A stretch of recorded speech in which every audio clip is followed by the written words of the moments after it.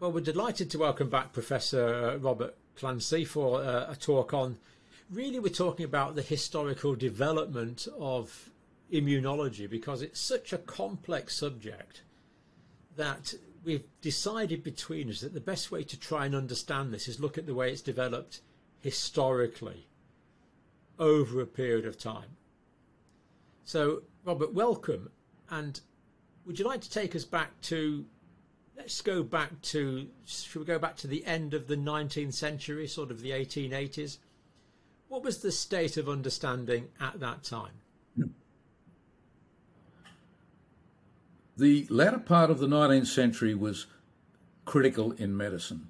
Uh, up to that time, for 2,000 years, people understood disease as a balance of four humours. And this concept went back to the ancient Greeks, where everything, there were four components to the world and the uh, there were four components to the body and health, and a balance between these components was what it was all about. So it, it's quite interesting. There was a study done in Sydney uh, in 1900, and 50% of doctors in 1900 still believed that uh, the four humours were the basis of disease. They probably shouldn't have, because in the 1880s, Pasteur changed the world. He found that bacteria, which had only been thought about as possible before, actually existed and could do things and that each disease would have its own bacteria. And so the idea of specificity was developed. You had a specific bug that caused this disease, another one caused that disease. And this developed into a race between Pasteur in Paris and uh, Robert Koch in Berlin. And every time a pandemic or epidemic occurred in the world, they'd send their scientists when plague came, when cholera came, you'd have one person from Koch's laboratory and one from Pasteur's laboratory trying to find what bacteria it was that caused the disease. Now, at the same time, uh, Pasteur realized there was something in the blood that was equally specific. That when you got bug number one infecting the person, they would make something which he called an antibody, which was a good name because it was an anti against the bacteria or the virus, because he was interested in rabies. So all of a sudden, the world changed. Disease medicine changed. Uh, we had specific causes and we had specific immune responses. Between Koch and Pasteur and their laboratories and their staff, uh, over a period of 5, 10, 15 years, uh, they developed the basis of modern immunology. And maybe if we can put the slide up that we have, sure. John, it, it, makes some sense. it's amazing. Amazing. Before this, people believed in spontaneous generation of, of organisms, didn't they? That the, maggots come into existence inside of an apple. It's such a quantum leap, isn't it, in That's understanding? Right. Um, to to to, yeah. to What was actually one of the many things that Pasteur did, which showed that it didn't exist. Spontaneous generation didn't exist, and you can go to Pasteur's laboratory. You can visit that in Paris today, and the original swan neck uh, flask that mm. he did this study uh, still exists, and you can see that. Mm. So, what, what is what is an antigen, Robert? An antigen is what the body's immune system detects, uh, and it can be an antigen on yourself, or it can be an antigen uh, in a bacteria or a virus. It's really uh, a, a, usually a protein, but not necessarily, uh, that is detected by a specific antibody. So every antigen will have its own antibody. It might be a little bit of a COVID virus, a spike protein, uh, that will develop certain antigens. That will be an antigen that will develop uh, a repertoire of antibodies. And the important thing to realize, and this was realized very early by Pasteur and Koch, was that there's only a limit. There's about 10,000 different patterns of antigens that can exist. And so you need to be able to make an antibody against every one of those. And we now know that the body undergoes a mutational process uh, which reassorts all the parts of the antibody molecule to come up with about 10,000 different patterns.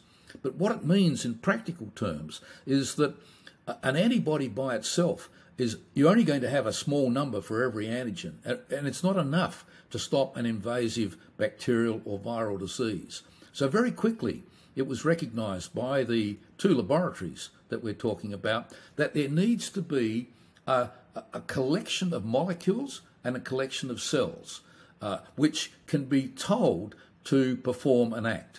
Uh, look at it as the antibody being a general, and every theatre of war will have its own general, that's the antibody, antibody for different theatres of war, but the foot soldiers can be the same. And so the antibody activates the molecules, and in those days it was all complement. It was called complement because the innate molecules that would be activated by the antibody complemented the antibody activity. And so you have this explosive effect because the molecules acted in what was called cascades. And the cascades were a sequence of enzymic activities so that you start off with a little bit of stimulus and then Enzymes, of course, create great numbers of molecules. Each of those molecules themselves is an enzyme. That creates a great number. And it's a bit like looking at blood clotting. It's suddenly the blood's not clotting and then it's clotted because of this sequence of enzymic activities. Same Cascades with complement. Of falling and so almost. you are putting absolutely the dominoes fell and it would blow a hole in a bacteria and the bacteria would die from osmotic lysis blowing up with the fluids accumulating inside it. And so this innate system became incredibly important. On the other side, the innate system included cells which could gobble up and eat bacteria, which was called phagocytosis. And so, very quickly, uh, in this first layer of understanding immunology, we had specific antigens causing specific antibodies. The specific antibodies would activate the complement system, make the phagocytes work more actively, and that would remove the antigen. And the idea of control of immunology was simply getting rid of this antigen. However, in the early 1900s, it was found that when you keep stimulating antigen uh, in dogs, for example, sometimes instead of getting the protection against that infective organism, you got a blow up, you got inflammation, active inflammatory disease.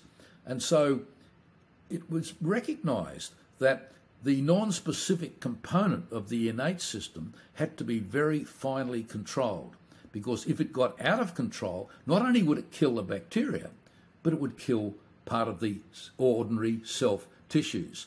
And this became known as hypersensitivity. And so uh, sorry, an antigen uh, was injected into a, a person or a dog, it would change the way the immune response would act. You would get protection and or damage. And the damage and protection both came from the same mechanisms of innate immunity. S- cells like phagocytes, molecules like the complement cascade system. And if you didn't control that process well, you would get protection but also inflammation or damage. And inflammation really just means a response to damage. Well, in this case, it was uh, basically um, the normal healthy tissues in bystander damage. It was just innocent bystanders sitting there and getting caught up like a hand grenade going off. So the hand grenade would kill the bacteria, but it would also kill some of the tissue. And so a lot of the conditions we see in humans um, are the uh, hypersensitivity reactions, anaphylaxis, allergies, um, vasculitis, where you get inflammation in vessels, um, T cell. Uh, there are three types of hypersensitivity depending on the time and the mechanism. And so, different types of antibody, different types of T cells cause this. Uh, and in fact, if we look at COVID, the much of the damage that occurs in the gas exchange of the apparatus, particularly with the early variants of COVID, uh, was because you had uh, antigen excess. You had a lot of antigen coming in, escaping into the uh, alveoli, the gas exchange, and the antibodies uh, that were there were causing uh, insufficient quick response. And so you blew up not just the virus, but also the, the uh, alveoli, the gas exchange. And that made people very sick. so the case, sickness the, the came not just virus. from the virus, but the body's response to it. Yeah. Yeah. In, in that case, so the antigen was the virus in, in that situation. I think I think the thing yes. I didn't yes yeah the thing I didn't understand I think was I understand the antigen and the specific epitopes on the antigen generating specific antibodies. I've always thought of the antibodies as as the the the sort of the bit that's actually doing the work rather than the antibodies stimulating other components of, of innate immunity. So so my idea of the antibody I think has been somewhat simplistic. I imagine antibodies that sterilize, for example, or antibodies that agglutinate. But we're no, actually saying no, that antibodies no, are You're not wrong. You're not wrong, John. Antibodies can and do neutralize the um, uh, the virus. And in fact, uh, the IgA antibody, which is a particular type of antibody you see in secretions, can prevent the virus actually attaching to the cells to infect them. So there's no question that the antibody themselves can be protected. But to actually cope with a massive amount of rapidly dividing virus or bacteria, you need to have recruit mechanisms. You've got to recruit an army to help you. I mean, the general can fire a pistol, but he can't. A pistol's not going to control um, half a million people who are fighting you, and so you have to recruit the army to, to help you do that job. So there's a pistol uh, and there's a bazooka. It makes perfect sense. So the antibody, in a sense, is acting as a cytokine. Ah, well, I suppose uh, cytokines are, are, usually smaller molecules. Uh, cytokines are completely non-specific in what they do. Antibody right. is highly specific, highly but, specific. But, but um, bad analogy. So I, I it's, it's, be... it's, working as a chemical messenger then that's stimulating other parts of the immune system. Yes, yes, it, it's it's it's it, for for those who follow rugby. It's uh, the antibody is the five eight.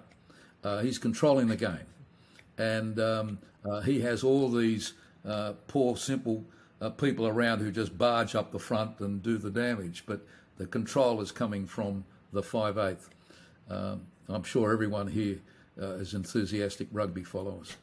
Thank you for that clarification. Robert. I, I, I, that, that, that make that does make sense. So we want protection. We want just the right amount. But if we get if we get from too a soccer much, player. We... no, no, I, I, I, no. I, see my, my cytokine analogy was wrong, basically.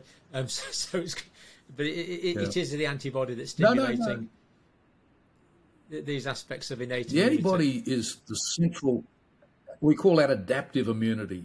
Um, yeah. It's the central. It's the smart part. Uh, it's it does things, but it controls things. So, give us some examples of inflammation causing harm. What sort of diseases might people have heard of where, okay. where there's going to be inflammatory damage? Right. The there are three broad groups, probably more, but three that are traditionally accepted. Uh, and it depends on what type of immune response is triggering the innate system in that circumstance. Now, the first is caused by a particular type of antibody which we call IgE.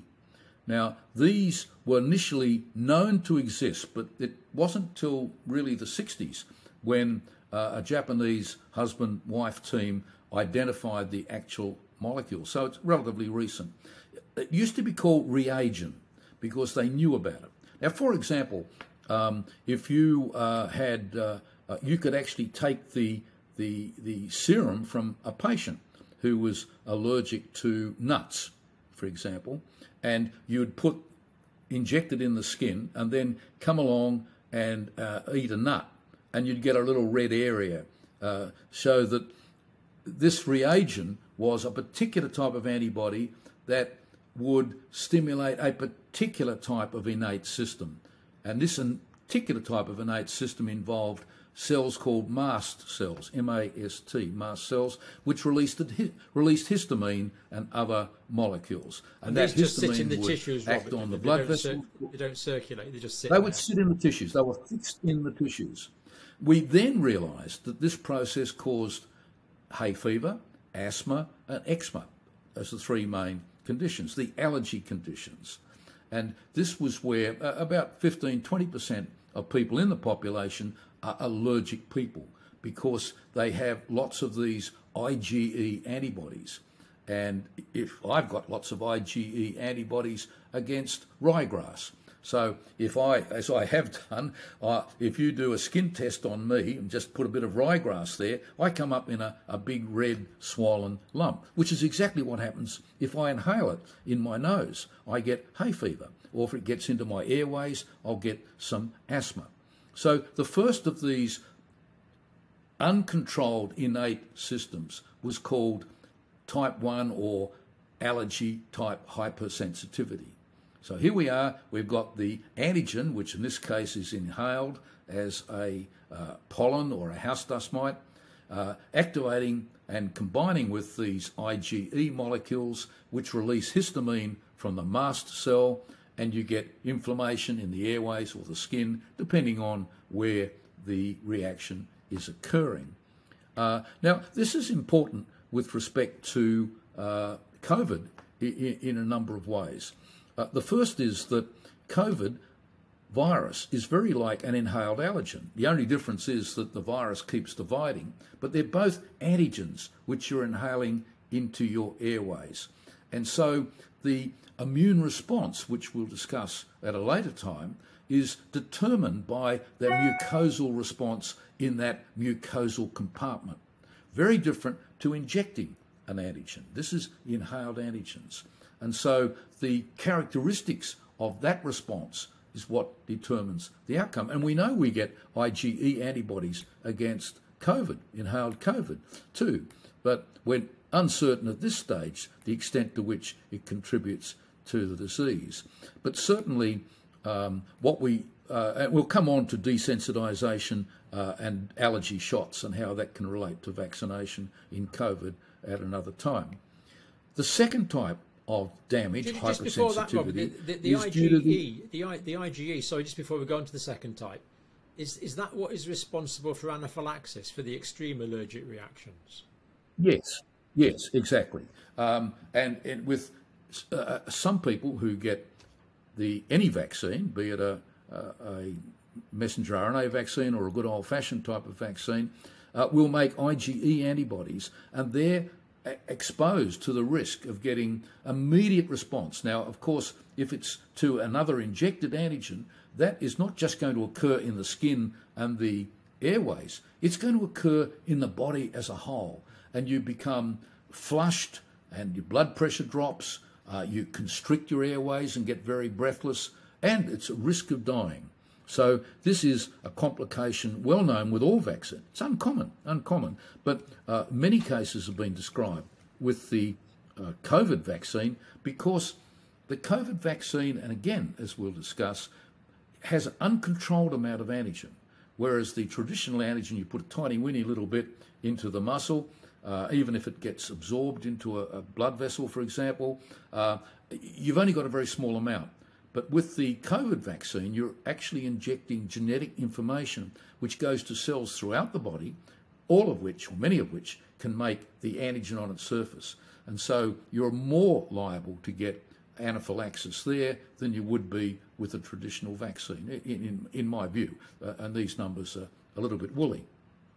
So, so anaphylaxis so is uh, an immediate hypersensitivity reaction occurring right across systemically in the whole body. Yeah, so so it, it's if you get many mast cells that are expressing IgE and they're all activated at the same time, you essentially get mass release of histamine from the mast cells. Is that is that what's happening? Exactly, exactly. So it's a bit like That's rolling up the sleeve and, and so giving me getting... an intravenous injection of, of histamine. Yes, exactly, exactly. Which you don't do very often. No, I, I wouldn't do. Uh, I wouldn't do that. And um, so IgE. No, that's and you'll find. Yeah, IgE presumably has physiological effects. We've talked about IgE pathologically, but presumably we have to have just supposed to have just the right amount of IgE. Oh, absolutely. Uh, IgE, like all of the components of the immune response, um, are, are, there for, for good outcomes. And we as humans evolved in association with a whole range of microbes, and particularly worms. Um, and we know that uh, worms, the IgE system, uh, directs the mast cells and other cells called eosinophils, which come in as a result of this. Uh, and collectively, this system of, of mast cells and eosinophils, uh, which can punch holes in the, uh, in the parasites, in the worms, uh, are very effective. And so the IgE system probably evolved in humans as a way of protecting against worms from the environment. Uh, it's just these days, most of us living in Western countries don't get exposed to a lot of worms, but it just translates back into the downside uh, of a worm eradicating system uh, in relation to inhaled house dust mite, um, pollens, uh, and very latex if you're working in as a nurse uh, on your gloves. I, I worked in a hospital where uh, we had several nurses who were getting anaphylaxis from latex, and of course, uh, some glove batches have lots of latex, and others, for some reason, don't. And whenever a new batch of gloves came into the hospital, uh, these particular nurses were very quick to see if it caused a reaction on their skin, and if a batch didn't, those that batch would disappear very very quickly from the uh, from the stores. Yeah. we actually went latex free about about about 10, 12 years ago, we went to latex free gloves. Oh, yes, yes. I'm, I'm yeah. going back a few years, yeah. Yeah. And you, talking about worms, but you and I have worked in, in poorer areas, and we know that if you treat someone who's got a swollen tummy with bendazole, mebendazole, one of the anti-worm medicines, people actually poo out huge bulk of, of uh, gastrointestinal worms. This is a real big problem. It's just that we don't come into oh. contact with it on a. I, I, I, can remember my introduction to, to worms was uh, as a, a, junior resident doctor uh, in a teaching hospital in Sydney. Uh, I had a little Aboriginal boy uh, as a patient uh, from far west, and um, uh, he just I don't know why, but I, I just examined his his feces, and there were sort of nine nine completely different worms. no, and my, my senior doctors just said, "Oh well, you know, um, you know, that's not all that uncommon. So uh, worms have been something with us for evolutionarily for a long, long time. Hence, the IgE system was as being absolutely essential. The IgE system, yeah. So that was the first. Now, one. the, the second was, type of one. Yeah, second type. Oh, I was just saying that the second type occurs. Uh, the first type occurs within minutes. The second type occurs within hours, and that is where you actually get um, the IgG, which is the main antibody class in the serum, in the blood, uh, the IgG antibody combining with the antigen and activating the complement system, which I talked about before.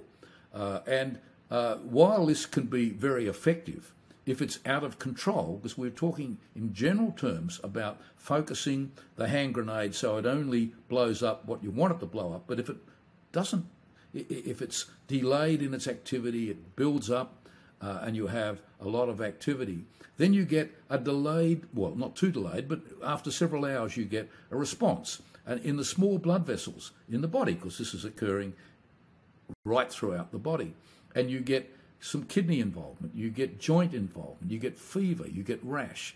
And this was first seen when the antibodies were recognized to be protective.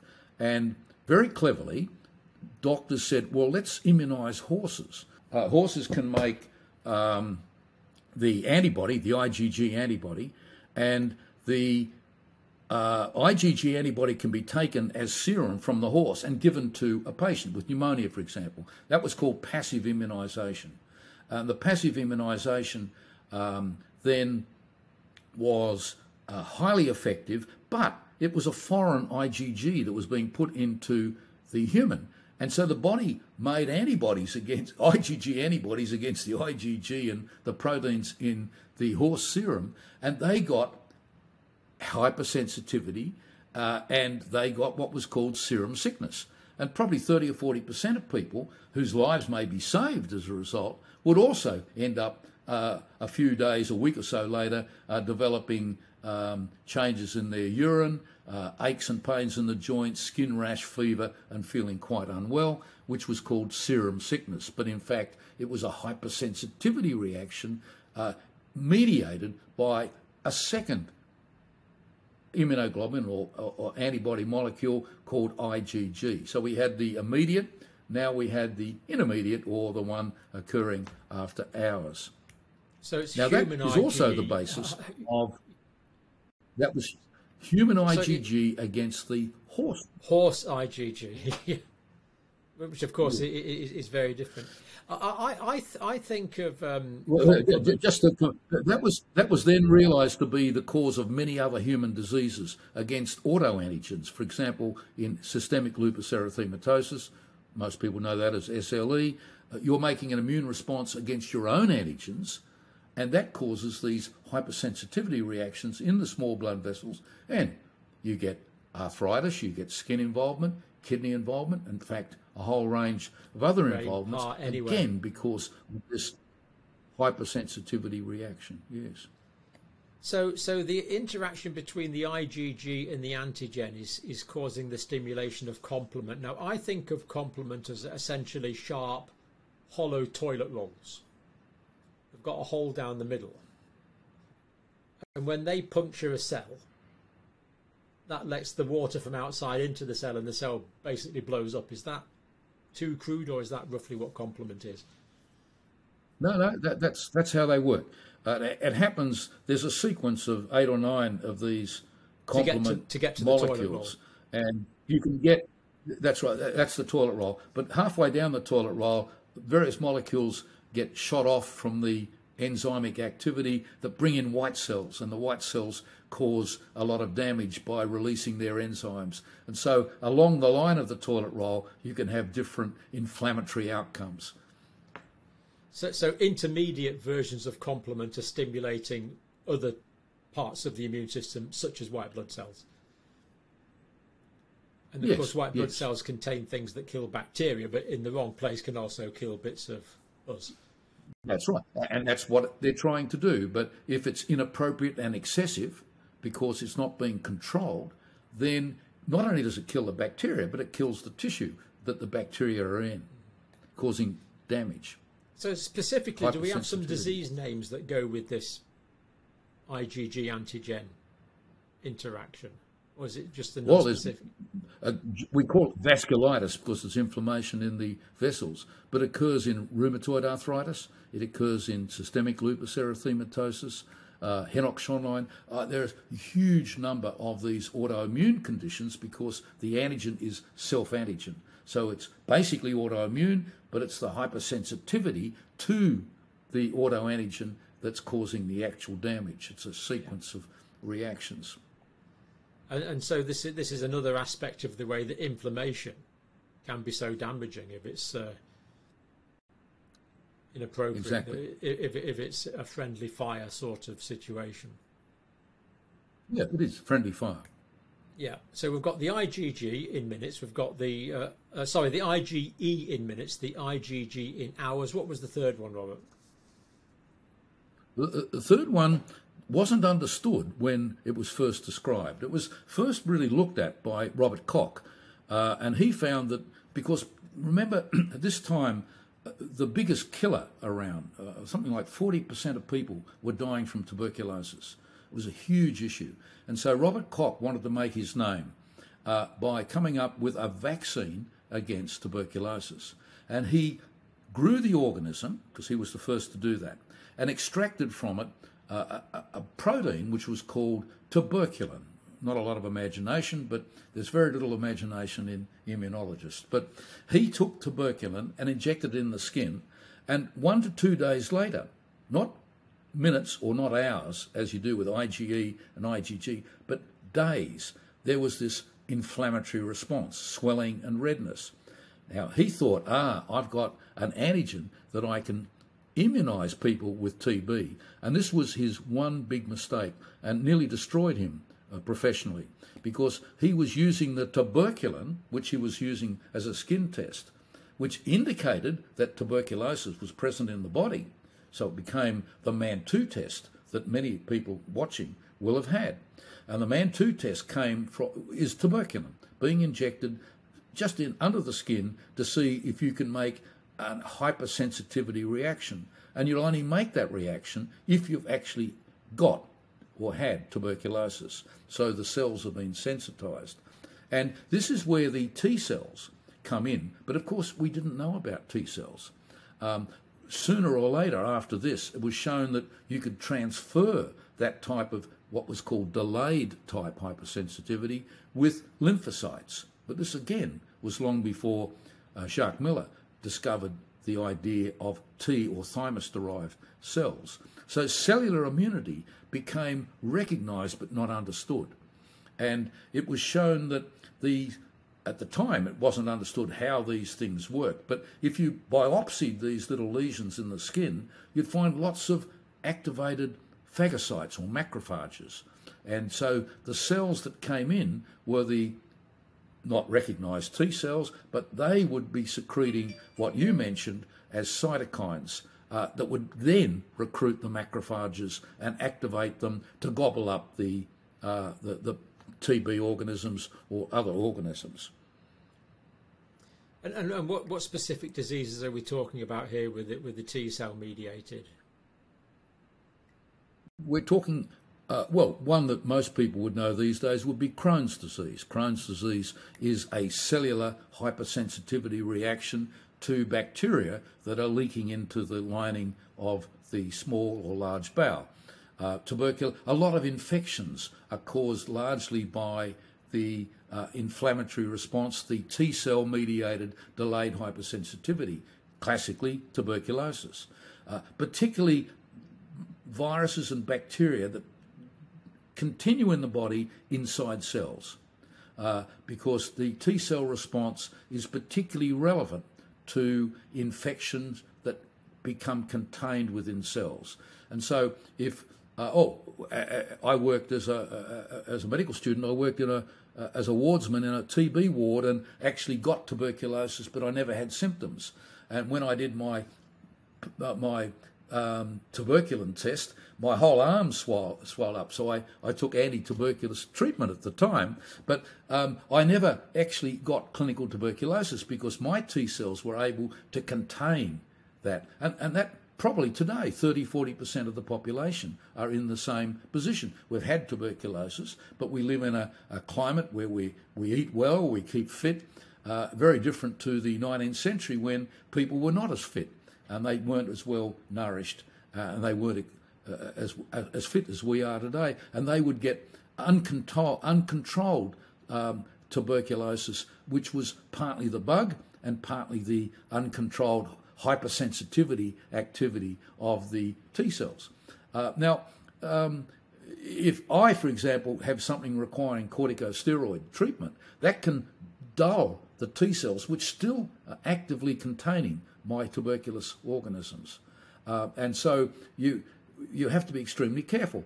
Um, uh, in New Zealand, uh, they had a lot of people coming from Polynesia uh, to work in New Zealand, and they had various invasive parasites, particularly worms, that were contained by these T cells.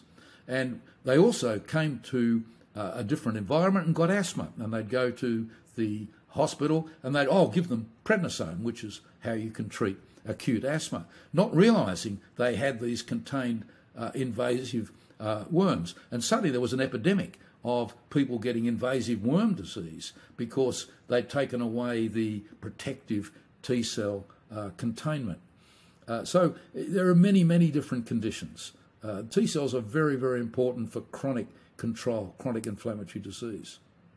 I think that's such an important fundamental principle, isn't it? Never give steroids to suppress inflammation if there's a possibility of an infectious component, whether it's viral. You're never bacteria. changing the natural history, really, are you? Yeah. Steroids will just take away uh, the hypersensitivity component. of the disease, which can be life saving. You know, uh, oh, tuberculous yeah. meningitis uh, in young children, you give them steroids to stop the inflammatory response, even though you're not going to be, you've got to also give the anti tuberculous uh, um, drugs uh, to kill the bacteria. Well, I hope you enjoyed part one of our understanding of immunity series, looking at the historical development of immunity to allow us to understand this complex subject. So, thank you very much, Professor Robert Clancy, and do keep an eye out for part two, which will be along soon.